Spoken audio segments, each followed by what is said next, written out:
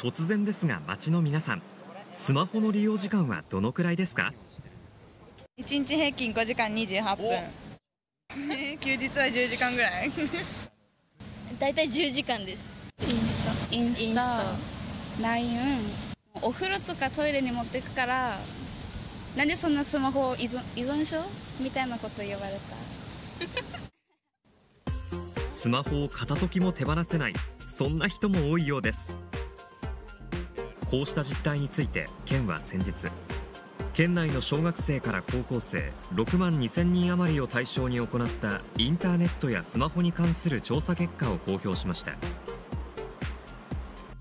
それによりますと自分専用のスマホを持っているのは小学生で2割を超え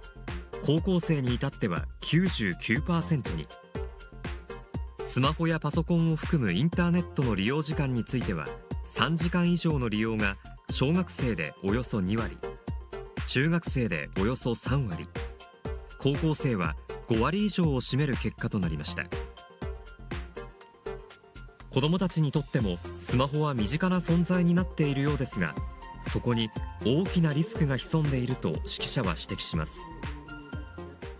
良くない大人の方などと知り合ってしまったりとか、それから問題あるコンテンツなどに接してしまうような機会も増えているかなと思います。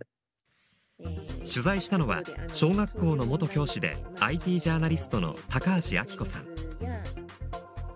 ネットの空間をきっかけに子どもたちを狙った事件やトラブルは全国的にも後を絶たず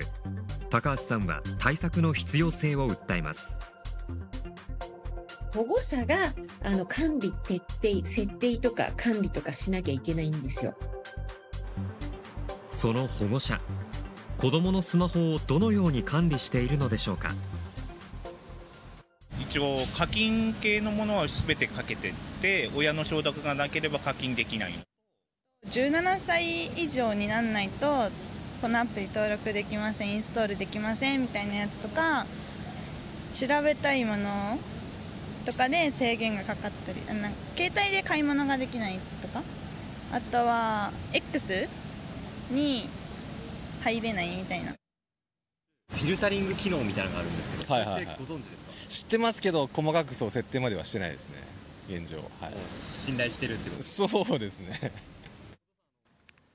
とスマホに対する管理の仕方は家庭によってまちまち有害なサイトへのアクセスを制限するフィルタリング機能は一般的な対策の一つですが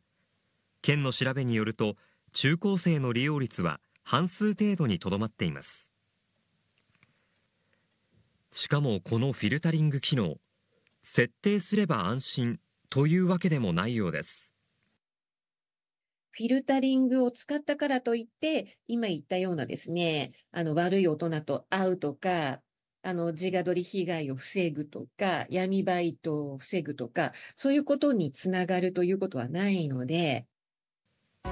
アプリによっては利用に制限ができたとしても有害な情報を完全に排除することはできないと指摘します。その上正しく使えば問題のないアプリやウェブサイトも使い方によっては子どもの安全を脅かす存在になるというのです。SNS などはもうそれを使うか使わないか、使うんであれば、その上にある有害なコンテンツとか、有害な誘いなどは、あの自分でこう、リテラシーを高めて、見抜いていく力をつけていかないといけないんですね。我が子は大丈夫と思わずに親子で一緒にスマホの安全な使い方有害な情報を見抜く力を身につけていく必要がありそうです。